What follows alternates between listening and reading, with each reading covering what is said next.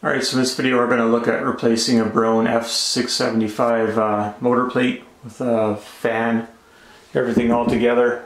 So I've already taken off the decorative cover. I'm going to re replace this. I just have to take it in the store and measure this against some other ones.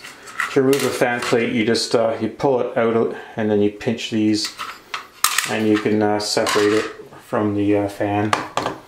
So Broan's website sucks, but if you do some searching, you'll find parts away from their website. So this is the part number for uh, F675. When you look at this uh, motor plate here, it says it's good for any uh, 600 series fan housing. It's 1.3 amp, 70 CFM and 4 sones. So it's going to be a loud piece of crap.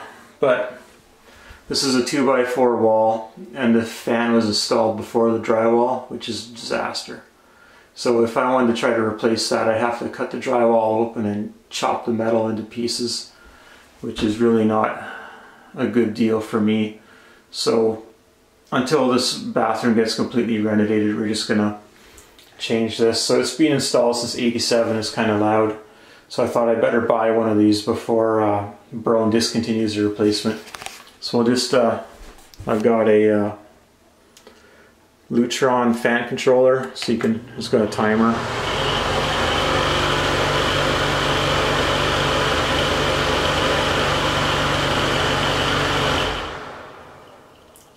So it's a, a, nice controller. I recommend getting one of those because you can you can set the time.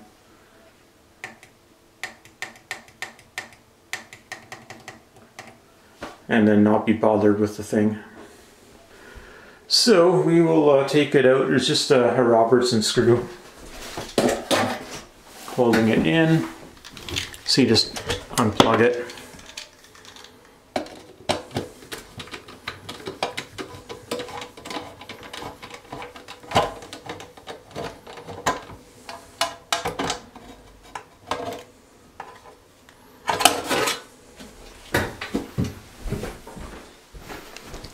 I cleaned off this a little bit a couple days ago, but you can still see there's junk caked on it.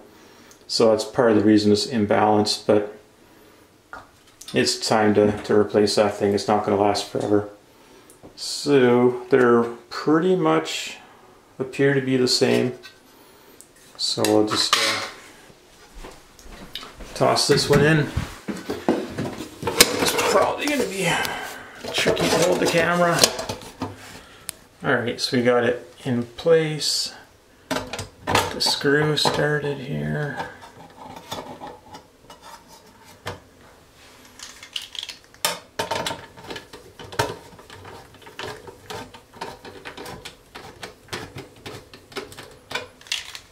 Everything lines up.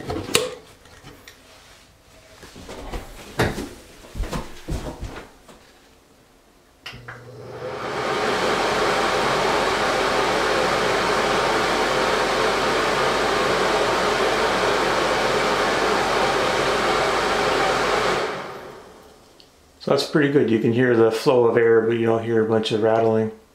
So, mission accomplished. So, thanks for watching.